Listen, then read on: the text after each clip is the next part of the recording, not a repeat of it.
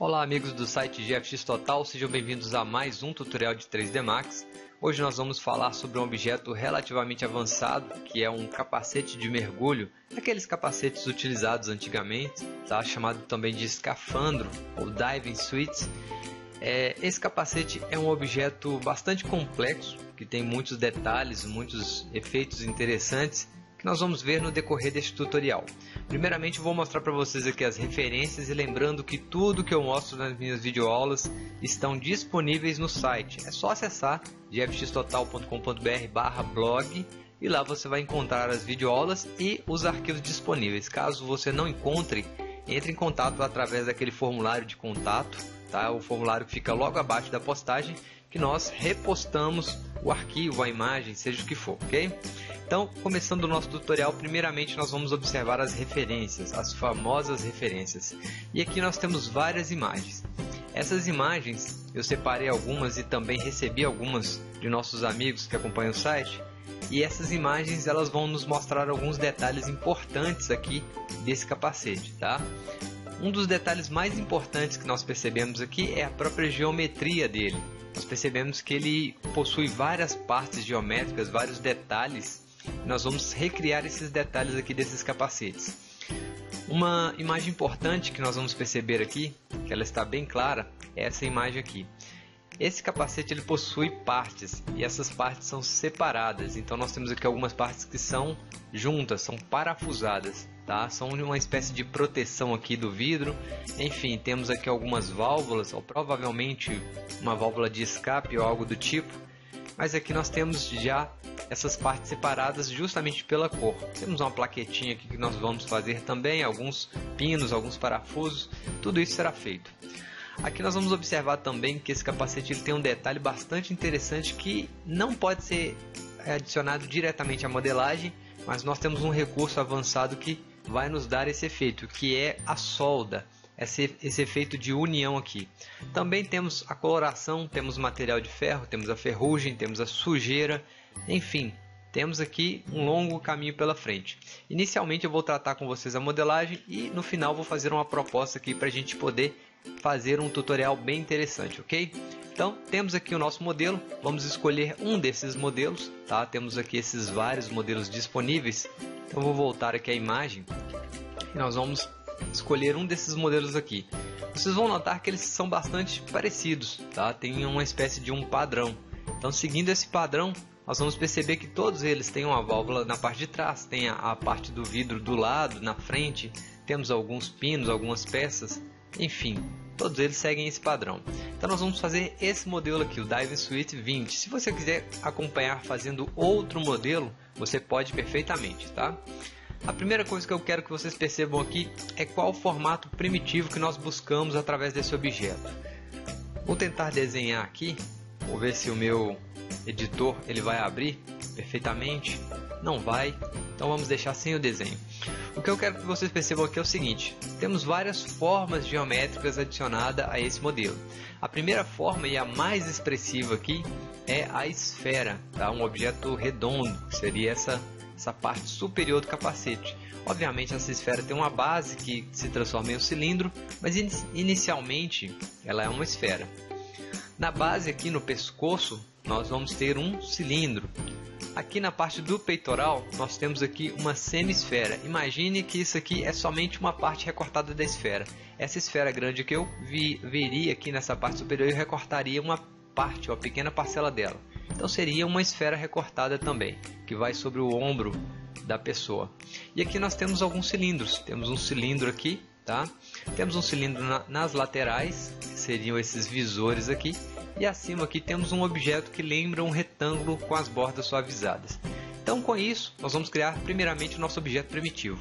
Vamos aqui na perspectiva, vou criar uma esfera, tá? lembrando que nosso objeto principal aqui é uma esfera.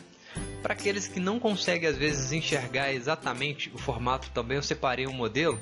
Então vou importar um modelo aqui, vamos dar aqui um import. Vamos lá na minha área de trabalho, Vou acessar a pasta Diving Suite e selecionamos aqui Busto. Clicamos em Open, importar como editável, não retriangular, single mesh, porque nós temos aqui dois grupos, não importar os materiais, importe. E aqui nós vamos importar um busto, tá? Esse busto, busto humano, vai nos ajudar a ter uma noção aqui do, desse capacete.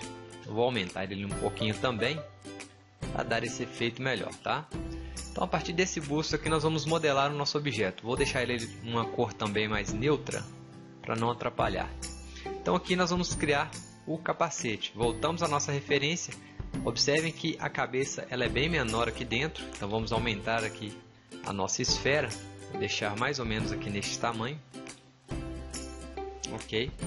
E agora eu precisaria derivar aqui uma topologia a partir da minha esfera. Só que a esfera não é o objeto mais correto a se trabalhar, porque ele junta aqui a topologia no topo. Então quando eu precisar aplicar o Turbo Smooth, essa topologia aqui vai me atrapalhar. Então eu vou fazer o seguinte, vou usar uma outra tática, vou utilizar um box. Mas como assim Daniel? Você acabou de falar que o objeto inicial é uma esfera e você vai usar um box. É bem simples. Quando nós trabalhamos com um box, nós temos um objeto quadrado. Porém, se eu subdividir esse box, ele se torna um objeto esférico.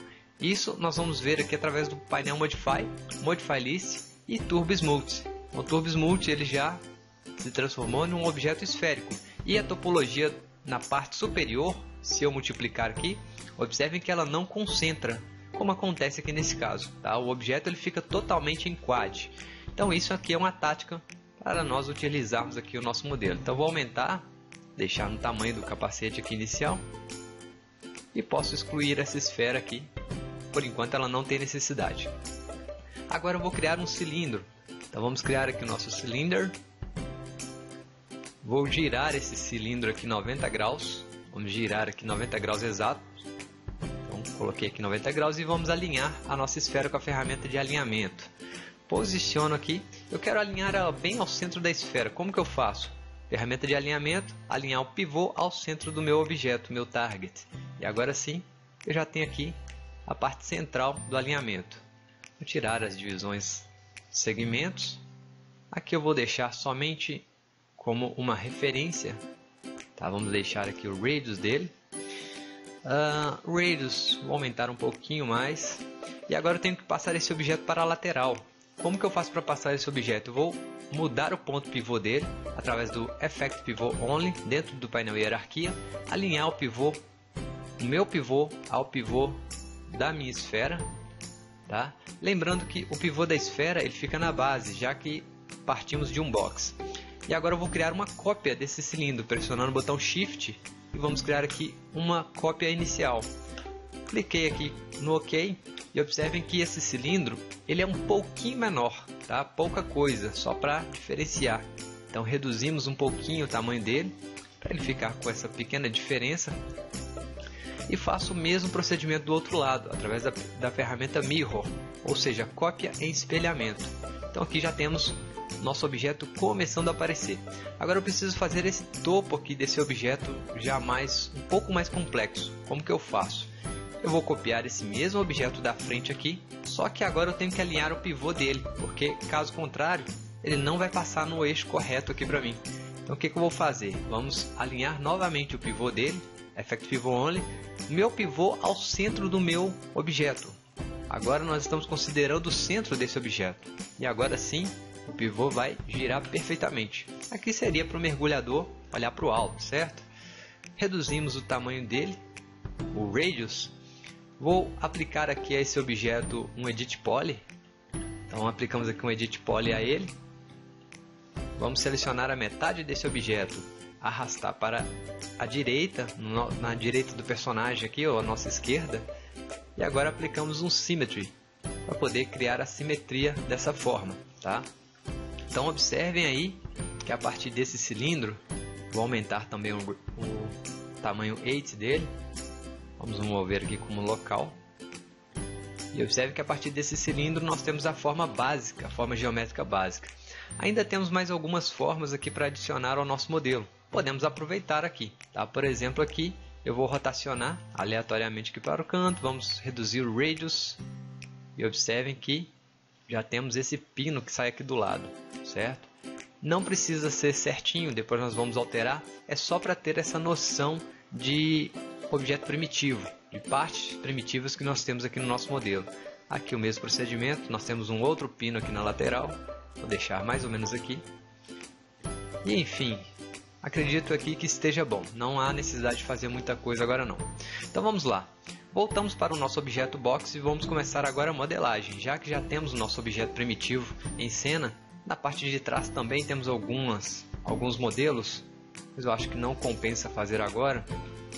Vou somente aqui arrastar esse objeto para cima como cópia utilizando ali a nossa referência, vamos aumentar o radius e aqui eu vou reduzir o radius e o aids, tamanho desse objeto, tá?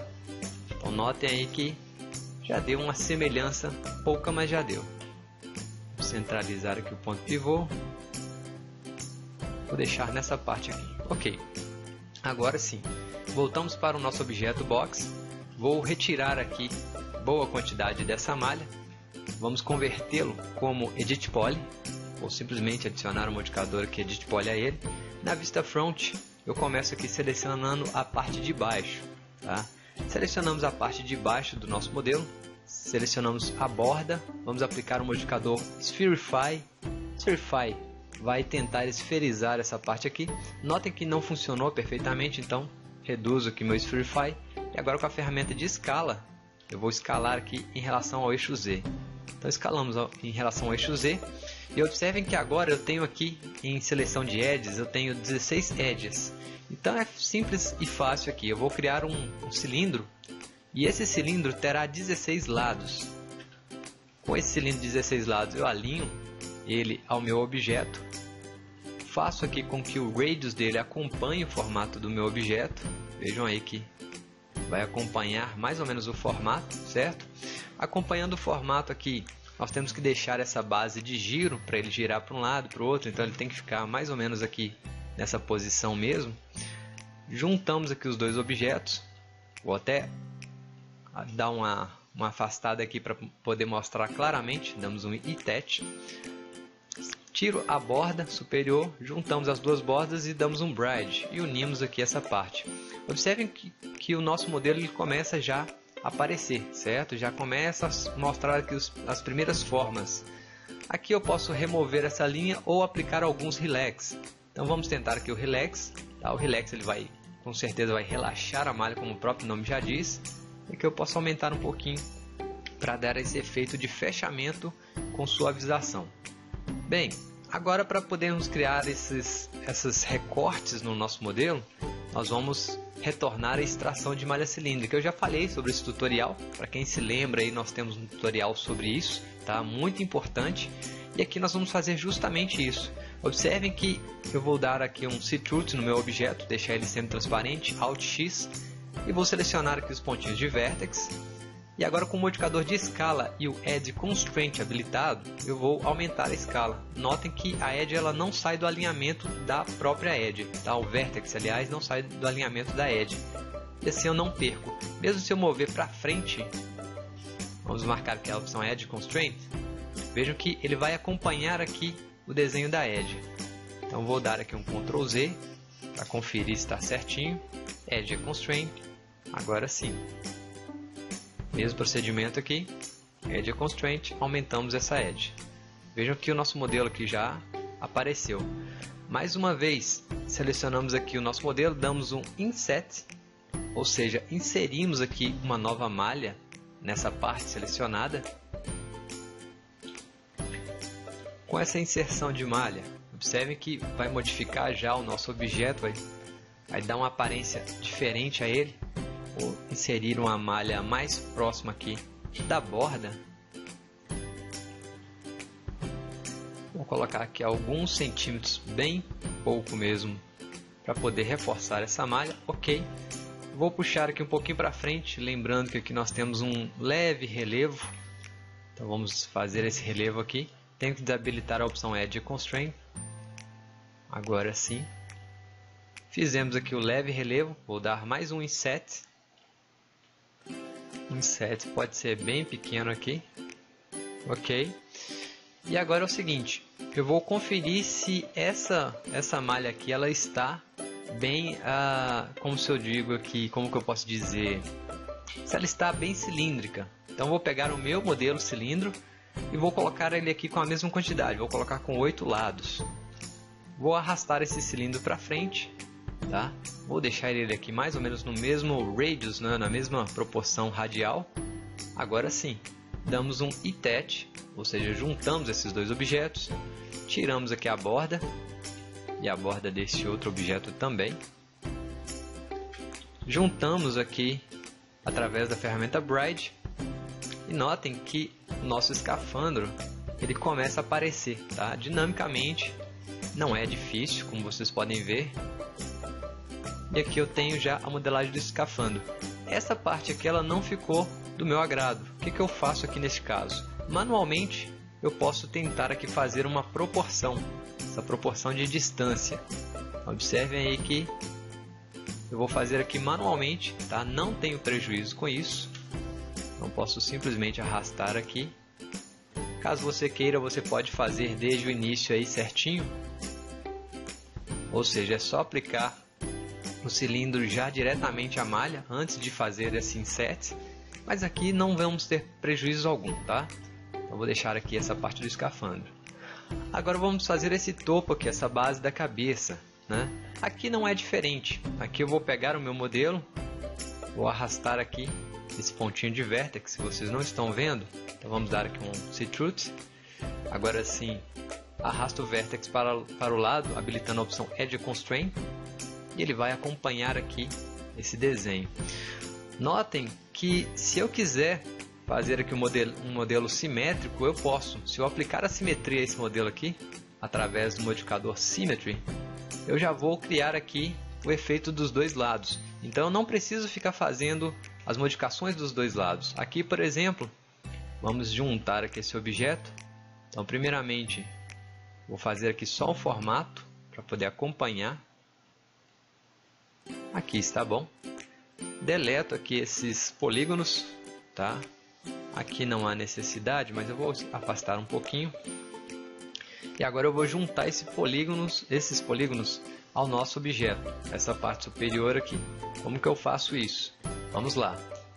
Primeiramente, eu tenho aqui já a minha simetria aplicada, converto esse objeto como Edit Poly, removo essa edge aqui central, não preciso dela por enquanto, e agora eu vou reduzir aqui a quantidade de edges para poder fazer o encaixe entre essas duas peças. Para poder fazer o encaixe, eu tenho que ter a mesma quantidade de edges Observem que aqui eu tenho 8 edges, então aqui eu teria que ter em tese 8 edges também. Tá? Fica bem complicado aqui fazer isso diretamente aqui, mas eu vou tentar mostrar para vocês aqui. Então vamos lá.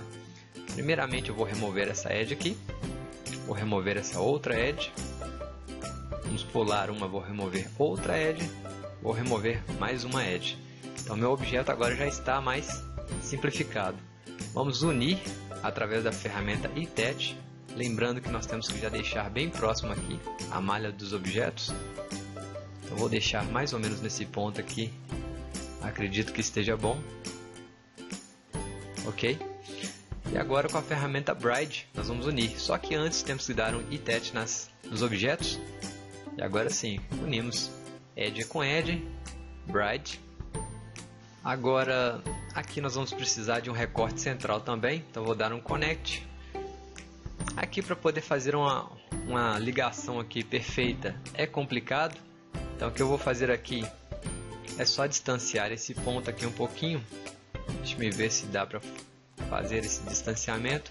Não vai dar, eu acabo perdendo aqui um pouco da característica dessa malha, tá?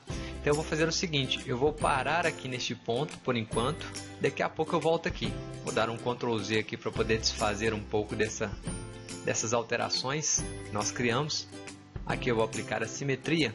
Daqui a pouco eu volto nesse ponto aqui, tá? Porque eu vou dividir mais o meu objeto. Então vou aqui nas laterais, onde eu tenho mais possibilidade para poder trabalhar aqui com essa topologia.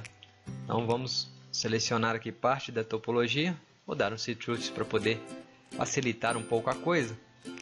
E agora vamos abrir aqui o nosso modelo. Vamos fazer aqui uma, uma nova topologia. Então aqui vocês já vão observar que eu tento sempre manter essa forma esférica do nosso objeto.